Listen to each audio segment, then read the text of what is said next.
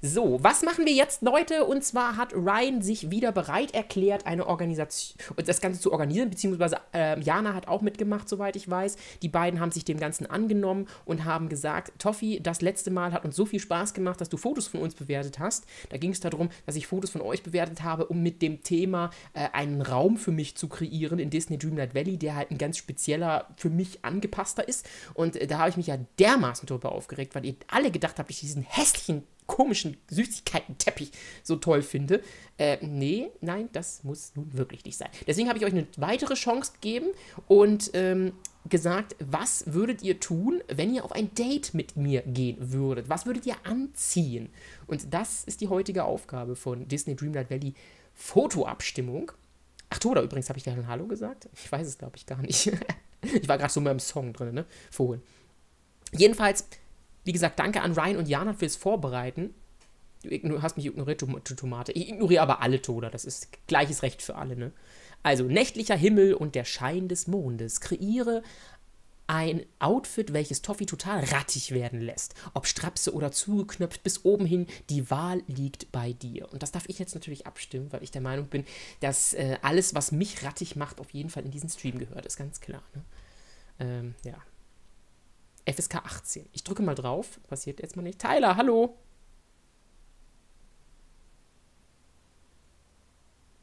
Ähm. Sobald es mindestens 13 Optionen gibt, wird die Abstimmung aktiviert. Jo. das war's wohl. Oh, das war aber eine schöne Abstimmung. Warte, alles klar, keine, so keine Sorge. Wir gehen nochmal kurz rüber. So kommen wir also zu den Abstimmungen. Mit einer kleinen Unterbrechung bzw. mit einer kleinen Verzögerung kommen wir endlich zu den Abstimmungen. Und jetzt geht es darum, was macht Toffee so richtig rattig. Wir haben hier einerseits ein Outfit mit der Blume von Ar Ariel, war das ganz schön sagen. Die Schön und das Biest. Glaube ich selbst kreiert, ne? Ich finde diesen Ärmel geil der so ein bisschen hervorsticht, mit dem, auch mit unten drunter, mit Ursula und so weiter, finde ich irgendwie cool. Die Ohren gehen gar nicht. Entschuldigung. Ist, ist, wa warum? Warum diese riesen Ohren? Warum? Was. Hä? Ha hast du das Gefühl, ich höre dir sonst nicht, äh, oder beziehungsweise du kannst mir sonst nicht zuhören? Spreche ich zu leise? Muss ich lauter reden oder was? Brauchst nicht so große Ohren. Ich verstehe, wir verstehen uns so schon. Ne? Ja, äh, ja. Also, an sich finde ich das Outfit ganz cool, aber Entschuldigung. Socken in Sandalen? An sich das Outfit, die Ohren kann man ein bisschen zwiegespalten, ne? Was ist ja, aber Socken in Sandalen. Du bist ein Deutscher, kann das sein? Richtiger Allmann, genau. Nicht auf das i klicken, lass dich überraschen von dem, wie die sind. Ja, ja, das mache ich nicht, das mache ich nicht. Erdwelpe, hallo, ja, typisch deutsch, halt wirklich so, ne? Also, das könnte. Oh, warte, das war jetzt Voll, Vollbildmodus. Warte, kurz. Ich muss jetzt hier oben auf X drücken, glaube ich, genau. Da, ja, es ist auf jeden Fall schon, ja, ist schon niedlich. Für ein erstes Date ein interessantes Outfit auf jeden Fall. Und das sieht ja mal mega cool aus. Ist das, das ist selbst kreiert, ne? Das sieht richtig, richtig gut aus.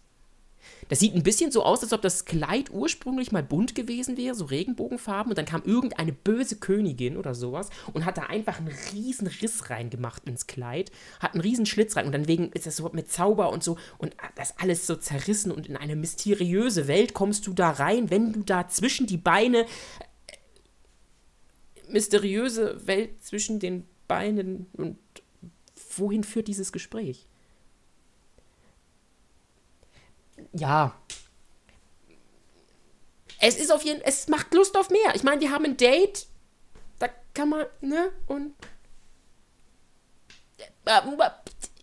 vielleicht denkt man ja auch so weit. Also ich finde das Kleid aber echt hübsch, ne? Generell, also ich muss ganz ehrlich sagen, es passt auch alles. Es ist ja sehr schlicht gehalten, auch die Ohrringe und, äh, also Ohrringe und äh, Ding wurden noch gewählt, Ohrringe und Kette, glaube ich. Und ja, ein bisschen was hier an der Hand oder sowas, aber es wirkt alles sehr, sehr schlicht. Äh, aber schick. Vor allem der Hintergrund ist richtig toll. Und hier sind sogar noch richtig schön mit, mit, mit äh, Dingen, ne? Also mit, mit Kissen und Büchern, wo wir ein bisschen Manga lesen können und so, ne? Oder wir lesen uns gegenseitig Geschichten vor. Geschichten aus dem Kamasutra. Was richtig Romantisches fürs erste Date.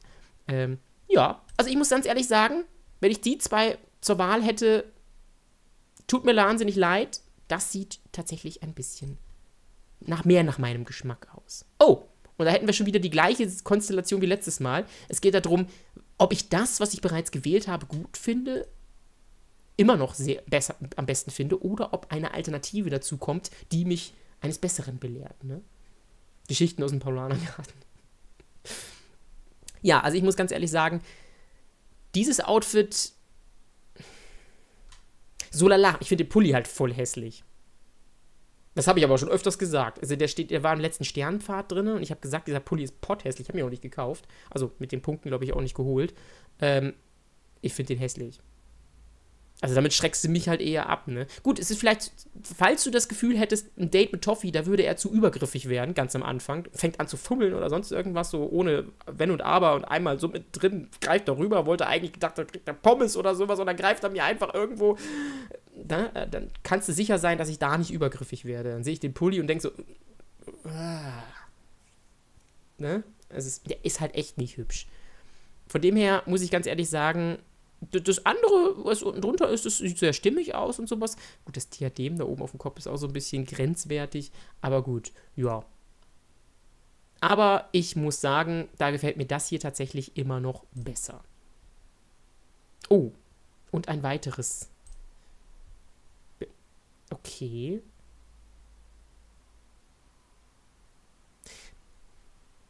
Ich weiß, es ist leger. Es ist leger es ist halt Mickey und Mini drauf, ne? Und, ja, ein groß, großer Korb mit Süßigkeiten, ne? Mit Baguette und Süßigkeiten und so. Da lege ich ja großen Wert drauf, dass man zu einem Date mit mir immer was für mich mitbringt als Geschenk. Da lege ich großen Wert drauf. Ja, von nix kommt nix, weißt du. Ich. Hallo? Muss man doch ein bisschen zelebrieren, dass man mit, mit, mit dem ausgehen darf, ne? So. Also Geschenke sind immer ganz toll. Ähm, ist halt sehr schlicht und ähm, dann ist halt ein bisschen, ja, ja, ja. Würde ich wahrscheinlich mich am wohlsten fühlen tatsächlich, weil ich wahrscheinlich auch nicht groß, groß ähm, aufgetakelt kommen würde oder irgendwie so, ne? Aber ich finde das Outfit halt auch mega geil, ne? Aber da hätte ich jetzt wieder Druck, dass ich halt eben auch selber so schnieke aussehen muss. Trotzdem muss ich sagen, von den beiden gefällt mir das hier tatsächlich immer noch am besten. Oh, jetzt kommen wir wieder zu den ersten beiden. Ähm, wenn ich zwischen den beiden hier die Wahl hätte, hm. Würde ich mich wahrscheinlich für die linke Variante entscheiden, weil ich das halt einfach. Guck mal, hier, das ist halt auch mit den Blumen so richtig schön gemacht und dann kommt man hier so zu diesem Torbogen. Uschi ist auch da, also einen flotten Dreier haben wir auch gesichert. Ähm, ist halt genau nach meinem Geschmack, ne? Und ähm, ja, da, wie gesagt, also der Pulli, der versaut die ganze Nummer. Hätte sie nicht einfach zu Hause lassen können oder verbrennen, spenden können an blinden Obdachlosen oder so. Ne? Ja, weiß, die wollen das halt auch nicht sehen. Ja, also wenn, dann muss ich sagen, dann die linke Variante. So, oh, oh, ein Mann. Mhm. In Hot Pants. Also wenn ich bei Männern auf was Wert lege, dann ist es auf jeden Fall Hot Pants. Das muss ich schon ganz ehrlich sagen. Ja, das ist schon. Ne? Das Bett ist auch direkt da. Also, das heißt, da ist das Date auf jeden Fall ganz klar, wie es ausgeht. Wir treffen uns hier definitiv zum Biba, Biba, Bumsen. Da wird's gleich richtig rumsen. Ne?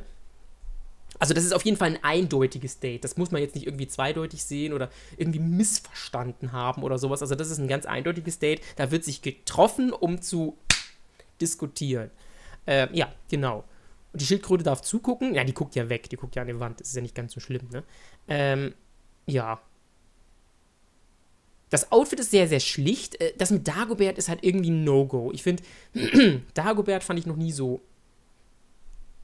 Also, ich fand den irgendwie. Na, nee, Dagobert war nie so meins. Irgendwie. Da gibt es andere, schönere Motive, muss ich ganz ehrlich sagen. Mm, deswegen ist das T-Shirt für mich eigentlich ein No-Go, aber es ist halt trotzdem schlicht. Es hat nur falsche, falsche Dings drauf, ne? Gut, ist ja schon ein Turn-off. Ja, das stimmt schon. Also, ob man da in Stimmung kommt, weiß halt nicht, ne? Gut, er hat immerhin nie eine Hose an. Das ist schon sehr praktisch, ne? Also, ne, wenn es zum Thema er Erregung öffentlichen Ärgernisses und so, ne? By Coincidence, hallo! ja, ähm, zwischen den beiden, also ist ganz klar auf jeden Fall die linke, äh, die rechte Variante wieder, weil ähm, auch wenn das hier einigermaßen gut gemeint war, glaube ich, ähm, das sieht halt echt immer, das Kleid ist halt echt hübsch. Ne? So, oh, ein neues. Da, die schlichte Version auf der linken Seite und dann haben wir hier eine Boah, ich weiß gar nicht, in welche Richtung es geht. Das ist so ein Piratenhut und alles in rosa gehalten. Ich, rosa ist gar nicht meine Farbe. Ich mag ja rosa nicht, aber gut, ich muss es ja nicht selber anziehen, ne? Es sei denn, wir entwickeln da so einen Fetisch oder sowas, wo wir uns gegenseitig unsere Klamotten tauschen oder sowas. Ich finde die Handschuhe so unnötig irgendwie. Die, die, stechen voll raus. Die sind, die sind überhaupt nicht stimmig mit dem Rest, weil die so orange sind. Das sticht so ein bisschen arg raus. Passt ein bisschen zum Hut, aber halt auch, ja, es sticht ein bisschen arg raus. Die Jeans und die Schuhe eigentlich ganz gut. Aber ja. Sieht ein bisschen so aus, als ob man zum zum Fastnachtsumzug geht oder sowas, wo, wo man dann mitmacht, so wo die dann immer so rumlaufen und dann irgendwie, ja, eben halt so ein bisschen mit, finde ich so ein bisschen. Also, ja, ist okay, aber da finde ich das hier tatsächlich schon ein bisschen stimmiger. Das ist schlicht, aber süß schlicht. So, genau, nämlich das hier. Oh, oh, jetzt die beiden. Was, was sticht mehr raus? Diese hässliche Pullover mit Herzen oder die Handschuhe, die mir irgendwie nicht gefallen wollen? Da ist jetzt die große Frage. Was gefällt mir besser? Hm.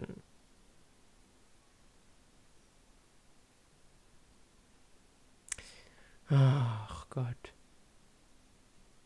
Ich finde, der Hut ist halt auch so, der Hut hat irgendwie den gleichen Stellenwert wie die Jacke. Ich finde, der Hut sticht volle Kanne raus. Und vor allen Dingen, was willst du damit sagen? Wenn du zum, zum ersten Date mit so einem Hut gehst, was willst du damit sagen? Ich bin hier der König der Welt oder wie? Der Captain oder was auch immer? Was willst du damit sagen?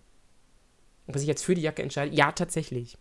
Irgendwie sagt mir dieses Outfit gar nicht zu. Ich weiß nicht wieso. Ich nehme die Jacke.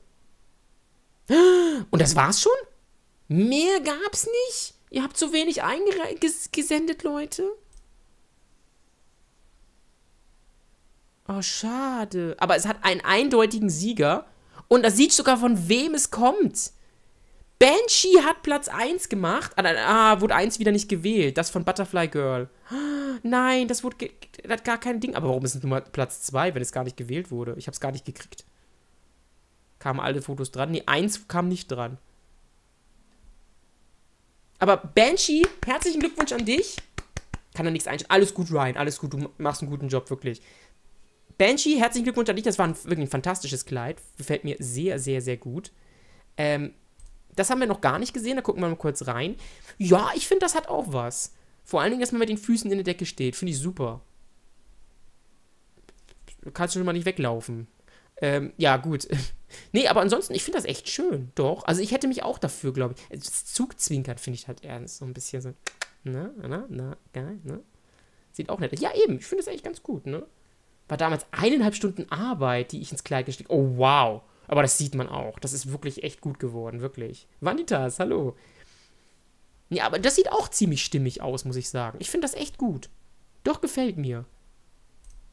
Ja, und Jana du weißt, dass ich es schlicht mag, ne? aber eben, es hat leider gegen dieses, dieses Kleid nicht anstinken können. Ne? Das Kleid ist halt echt, ist halt schon der Burner, ne? So, Mario, die Riesenohren, die haben es dir fast versaut. Nächstes Mal ohne Ohren probieren. Julian, ja, Julian weiß halt, dass ich halt auch nur ein Mann bin, deswegen ne? möchte halt natürlich trotzdem zeigen, dass wir Männer alle vom selben Schlag sind. Und wenn Männer unter sich, dann geht es halt nur um das eine, ist ganz klar. Ne? JB, JB, nächstes Mal lass die Jacke weg. Vielleicht kannst du noch irgendwie, vielleicht kannst du sie ja verkaufen, wenn du noch Geld gibst, weißt du? Gibst du jemandem die Jacke und noch 10 Euro dazu, dann nimmst du vielleicht jemand ab. so, was haben wir noch? Mika Sullivan. Äh, Ryan, wo bist du denn?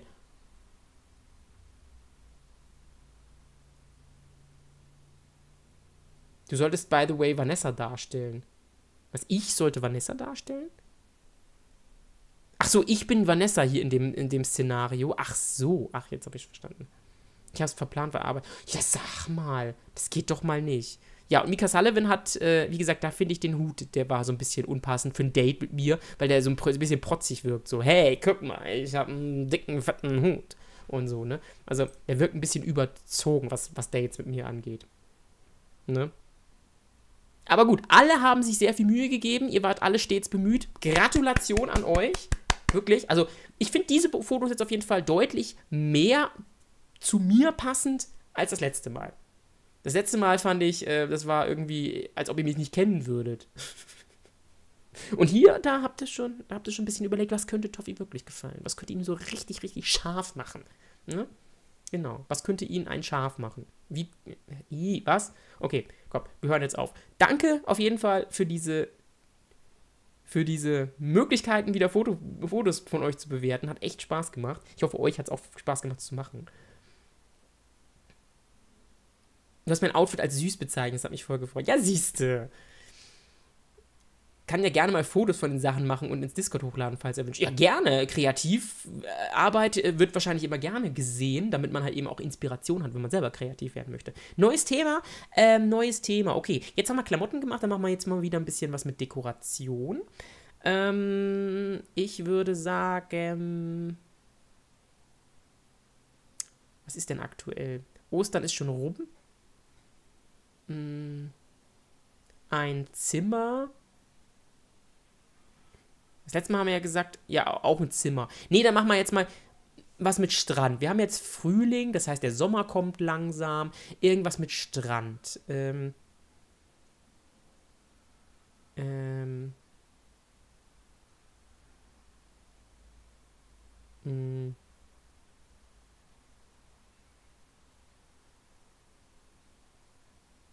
Ein außergewöhnlicher Strand vielleicht? Eine Beachbar. Aber ist die Frage, wie schnell, du, wie gut du das realisieren kannst, ne? Da hast du ja nicht so viel, ne?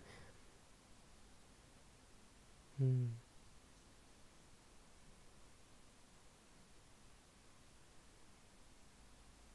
Ein Strand, wie ihn sonst keiner hat. Nee, das ist jetzt, genau, so mache ich.